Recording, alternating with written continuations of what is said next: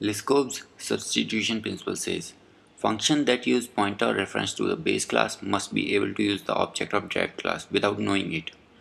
To show what does that mean, I create a project name LSP. Within the source folder, create package com.shape. Within package, create a class generic shape.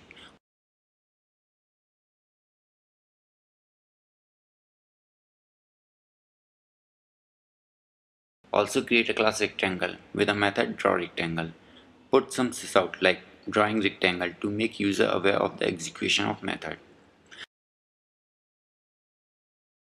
Similarly create a class square with method draw square inside it with some sysout to inform the user for the execution of method.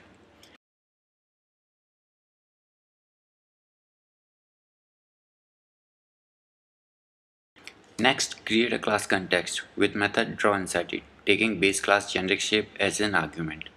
User will interact with any of the base or the derived class by using context. As I already said, according to LSP, function that use pointer reference to the base class must be able to use the object of derived class without knowing it. But here, if we want to call the draw rectangle or the draw square method of the derived class, we have to typecast the generic class reference to the derived class. According to LSP, this method should have no knowledge of the derived class, but we are left with no other option than to use runtime type identification and typecast the base references to the derived class accordingly. But before that, we have to extend the generic class to both the rectangle and the square to make it a base class. Similarly, code for the square. Here we are using runtime type identification and this method knows that there exists at least two implementation of the base class generic shape. Even this approach violates the OCP principles as when we add any of the new shape we have to open the context class and modify the function and that's the reason you will find in many tutorials author says that LSP and OCP are closely related.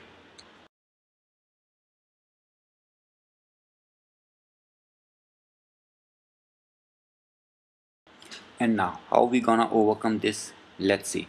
Create an abstract method draw in a generic shape class and in all the derived class make the overridden method to implement the draw functionality. With this, in a generic class method, there is no need to use any runtime type identification or the casting. We can directly call the draw method of the shape class. Now, let's create a client with main method. Create an instance of the context class and call the draw method of it. With with any of the derived class of generic shape passed as dependency.